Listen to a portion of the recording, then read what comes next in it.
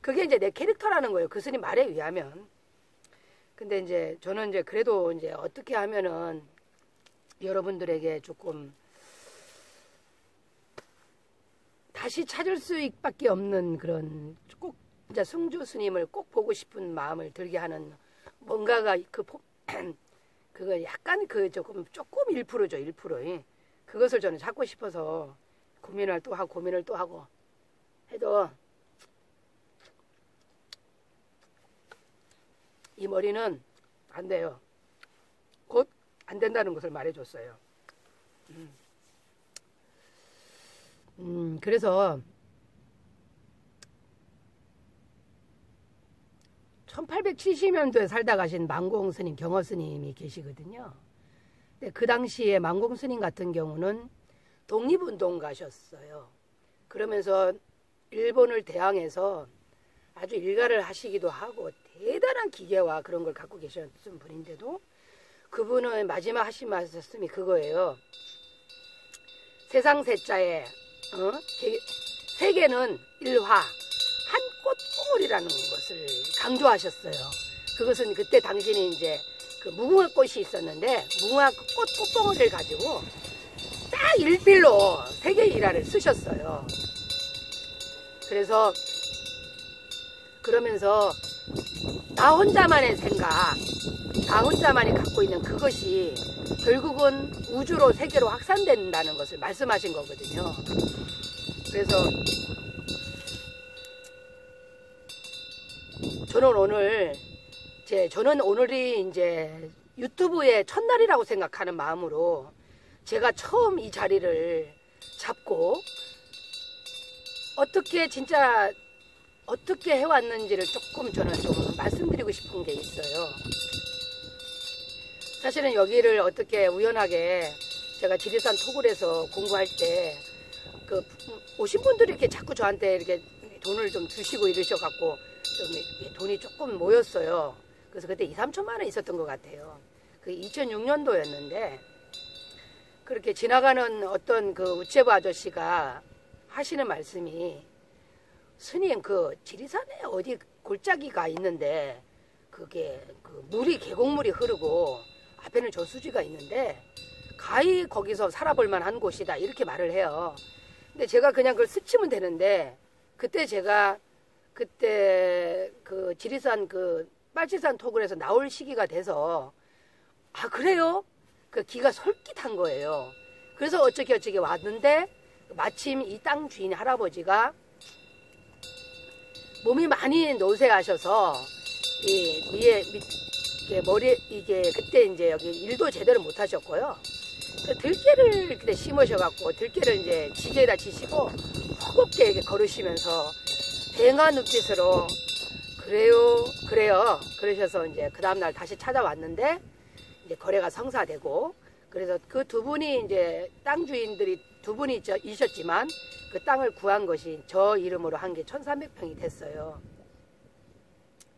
그리고 나서는 이제 그걸 해놓고 다시 선방으로 들어갔고 들어가 공부하다가는 또 나오고 들어가다가 나오고 하면서 제가 여기에 대한 어쨌든 여기 들어와서 내가 자리를 잡아야 된다는 그 생각을 깊게 갖고 있었죠. 마음 언저리에다 넣어뒀다가 그래서 이제 8년도쯤인가 예, 이제 저 들어왔는데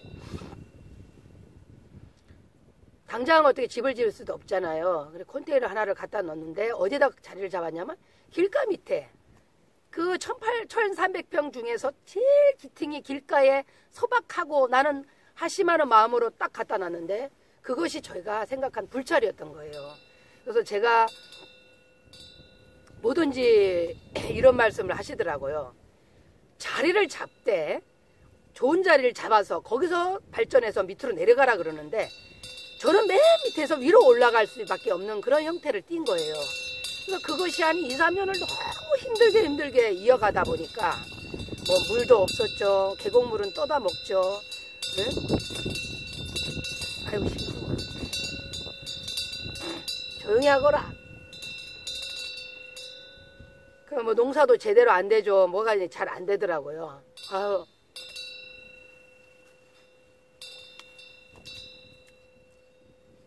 2009년이 더 되고 한 3년 지나서 마침 비가 너무 많이 왔는데 컨테이너가 반 이상의 물이 차버렸어요.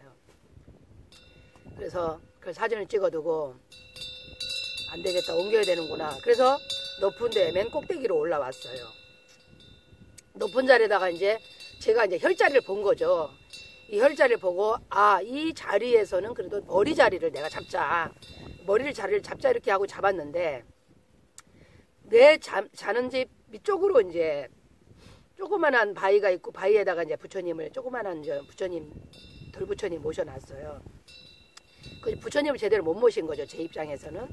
그런데 이제 이제 우리 도반이 하는 말이 그래요. 이렇게 오늘 이번에 참선을 하다가 스님이 이렇게 힘들고 어려운 길을 가는 것은 스님이 부처님보다 너무 꼭대기에 있어서 그런 거 아니냐 그런 말씀을 하시더라고요 우리 도반이 굉장히 한 번씩 제 생각을 많이 하고 공부 가운데서 이렇게 생각을 많이 내요. 그래서 제가 이제 그런 설명을 했죠. 사실은 제일 안 좋은 그런 바닥에다가 내가 콘서인을 두고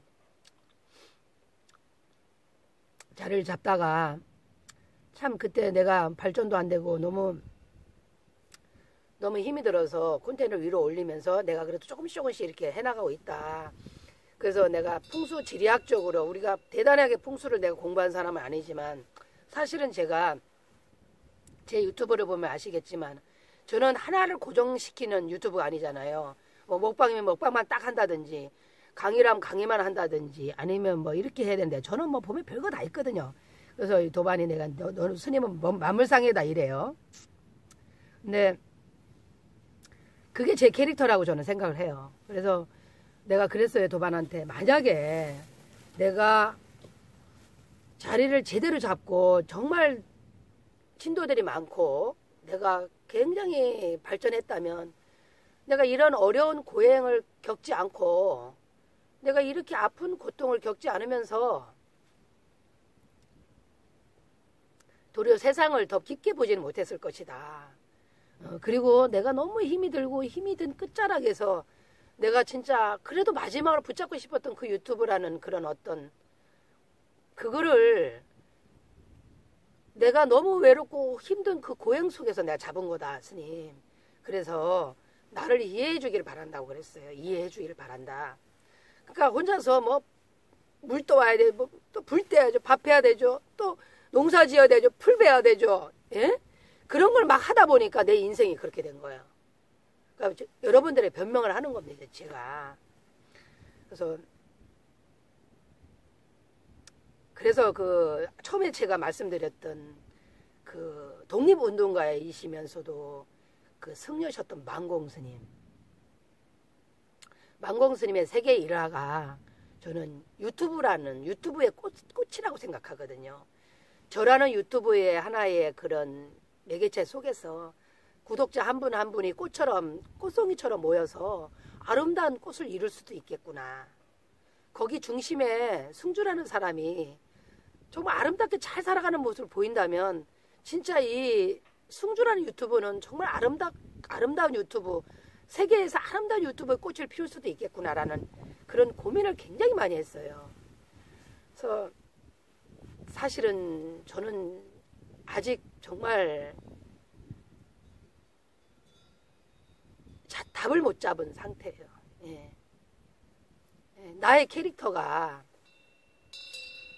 이거는 뭐 청정한 비구니도 아니고 그렇다고 아저씨도 아니고 그렇다고 완전한 농꾼이라고 할 수도 없고 그렇다고 뭐뭐 뭐 대단히 잘하는 것도 하나도 없고 그래서 이거 참 이거 참 곤란한 캐릭터라서 저도 이제 아 이 캐릭터를 어떻게 사용을 할까 이 캐릭터를 어떻게 끌고 가고 또 이 캐릭터가 어떤 모습으로 어떻게 가야만 여러분들이 좋아하실까 그리고 그 사람들에게 도움을 줄 수 있을까라는 생각에 어제는 잠을 좀 많이 못 잤습니다. 사실은 음. 몇몇 분들이 몇몇 분들의 댓글 소중한 댓글로 인해서 제가 이렇게 고민의 시간이었는데 그 초기 경전에도 이런 말이 있어요. 이 마음은 자유로워서 세상 천지에 어느 곳이든 안 갈 곳이 하나도 없다는 거죠. 이 마음은 그렇지만 그 마음이 가는 온갖 곳을 다 가고 다 찾아다녀도 진짜 그 이 마음이 사랑하는 것은 다 모든 것을 사랑하고 찾아다녀도 자기 자신만큼 사랑하는 것이 없다는 말씀이 있으셨어요.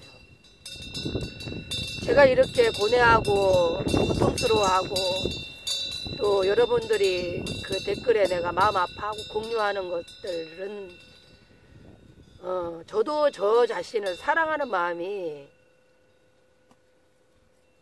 깊기 때문이에요. 잘 살아보고자 하는 마음이에요. 저는 저가 혼자서 먹고 산다면 그닥 고생스럽게 농사 안 지어도 되고 편하게 살 수도 있어요. 국경이 평이니까 300평만 두고 한 1000평 팔아먹고 그리고 뭐내 편한 대로 여행만 다니면서 살아도 되는데 그건 아직은 아직은 50대인 내가 너무 건방진 생각이다. 그것은. 그래서 내가 몸이 이 몸이 움직일 수 있는 한은 정말 이 자연을 위해서 꾸준히 내가 활동하고 사랑 자연을 사랑하고 어, 자연을 품에 안고 또 아픈 중생들을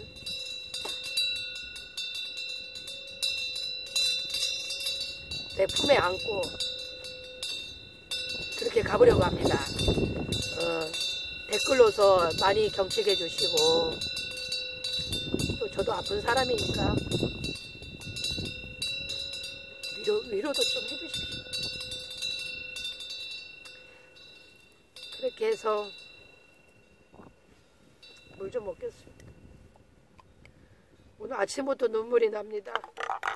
아침부터 모르겠습니다.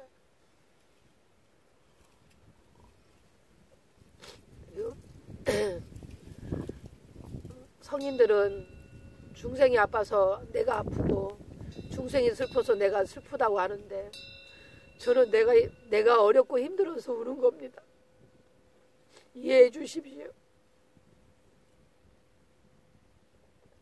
마음을 안정시키겠습니다.